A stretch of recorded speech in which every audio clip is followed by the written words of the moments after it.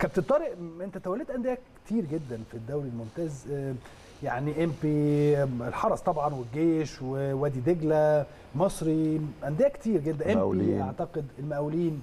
أندية كتير وكبير لكن أحلى التجارب أو أهم التجارب بالنسبة لك إيه؟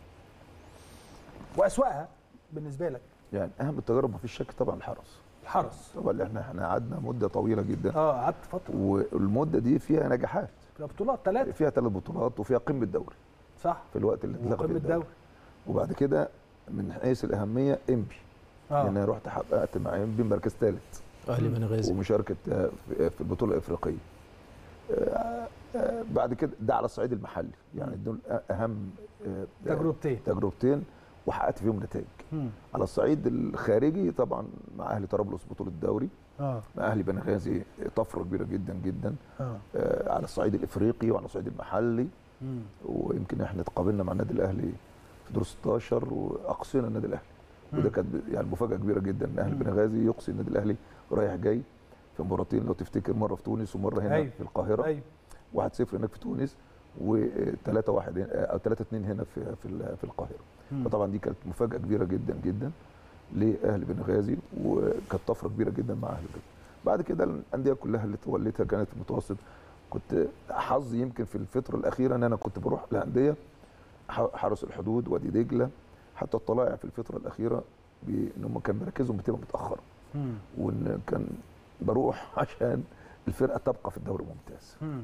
فطبعا مفيش شك الحمد لله بيبقى تجربة قوية جدا. مفيش شك فيها ضغوط كبيرة جدا عصبية. إن أنت لما بتلعب بتحط يعني تاريخك ال- ال- الكروي كله خبرتك عشان تنقذ الفرقة وممكن ما تبقاش موفق وتنزل. تنزل. فبتت يعني بتتحاسب عليك عليك. آه. طبعا بتتحاسب عليك. الناس ما بتبصش إنك ضحيت عشان توصل للمكان ده وتتولى المكان عشان تنقذ الفرقة. مم. فلا بتبص إن أنت مين اللي مع الم- مع المدرب مع الفريق. نجح ولا ما نجحش؟ بتقاس كده. هو نزل يبقى هو اللي نزله. آه آه. هي بتقاس كده. نعم. فطبعا يعني الفترة اللي فاتت الحمد لله وادي دجله في الدوري الممتاز حرس الحدود قبل ما ينزل. برضو مريت بالتجربة ديت كانت شديدة جدا وكان أبقى في الدوري الممتاز. تفتكر كنا بنمر بخمس مباريات متتالية من آه. الصعيد القوي يعني قوية جدا جدا. أنا فاكر. لا كان آه، اخر ماتش الزمالك. التانية. آه. الزمالك فالزمالك آه، وكنا بيراميدز والإسماعيلي والمصري. وكان وادي دجلة. الخمس ماتشات إحنا يمكن حققنا فيهم نتائج إيجابية وكان على أثرها إن حرس الحدود بقى في الدوري الممتاز. كلها تجارب يمكن حتى تجربتي مع طلائع الجيش ال- الأخيرة. ديت. أنا جبت يعني تجربة برضو بالنسبة لي من التجارب الحلوة بالنسبة لي. ليه؟ لأن أنت واخد الفرقة في المراكز الأخيرة ثلاث أماكن خم- بخمس نقاط. وبعدين تستغل فتره الدوري ال- ال- قصدي. بطولة التوقف بتاعه المنتخب بشكل كويس يعني جت في صالحي صراحة لو أنا رايح والمباريات متتالية كانت كان الأمور ممكن مشكلة. تبقى معقده. لكن آه، فتره المنتخب فادتني بشكل كبير جدا اللي فاتت اللي فاتت طبعا آه. بتاعت بطوله الأمم الأمم إنك ترتب البيت على كل الاصعده وتكتشف اللاعبين عن قرب وبعدين ترتب البيت بدنيا انت عارف شغلنا البدني بشكل مم. كويس جدا لأن انت جربت معانا إزاي بندوس على اللاعبين أيوة. عشان يوصلوا لأن انت ده عنصر مهم جدا بيساعدنا في تنفيذ في تنفيذ أفكارك مم. فلازم الفرقة تبقى واقفة بدنيا على حيلها وبعد كده بتخش على الشكل المهاري والخططي وت... وتختيار اللاعبين ال- لعيبة الطلائع صراحة الكواليتي بتاعها جيد. يمكن إحنا آه، خدتهم كان عندهم سل... حاجتين سلبيين السلبية الأولى إن هم دخل فيهم 10 تجوال ده يدل إن الناحية الدفاعية بتاعت الفرقة ككل سيئة. سيئة جدا مم. 10 تجوال كان في, في حوالي في 8 مباريات يعني الرقم رقم أنت رقم ت- كبير. تتخض رقم طبعاً. كبير جدا آه. والحاجة الثانية إن هم على الصعيد الهجومي ما جابوش غير جونين واللي جايبهم اثنين مدافعين. وكورتين ثابتين اذا أنت عندك قصور في الناحيتين ناحيه دفاعيه عاوز ترمم الدفاعات ديت بشكل كويس. عاوز الفرقة تقف على حيلك كلها as total وتعرف تدافع بشكل كويس.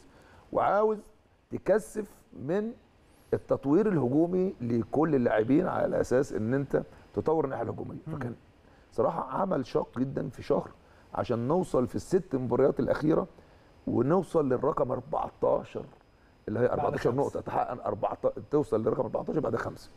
وتنتقل نوعا ما في المنطقة الدافئة مم. قبل التوقف اللي هو الأخير ده بتاع المنتخب هيفرق تاني برضه. طبعا هيديك براح إنك ترتب تاني لمرحلة تانية لأربع مباريات اللي هي متبقية من الدور الأول مم.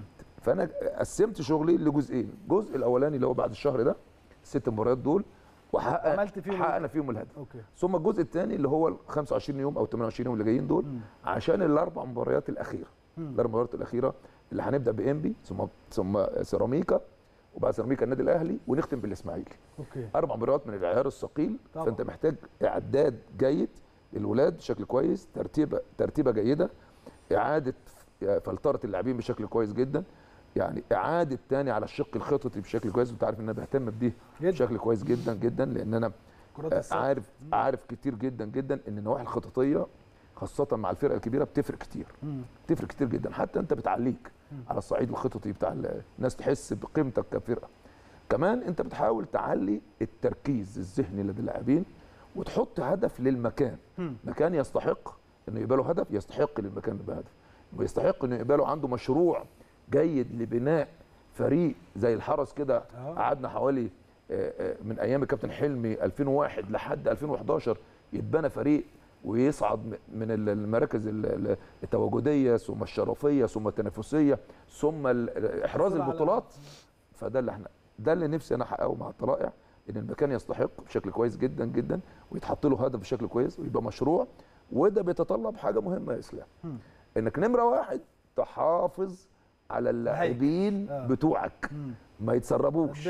وأنت عارف النهارده في كلام على مهند كلام على آه، سمير كلام على بسام كلام على الفيل ودي مجموعة لاعبين عصب مؤثرين. الفريق آه. مؤثرة مم. لما انت هتسيبهم هتبتدي. تبدأ من جديد وانت مش ممكن كمدرب مشروع تبدأه بعدين تيجي آخر السنة يتفشكل لك وتبدأ مع ناس جديدة لا انت عاوز تبدأ تحط النواة ثم تبني طوبة ثم تبني بعد كده عشان تقول إن أنا بعد خمس سنين الفرقة دي هتنافس على بطولة الدوري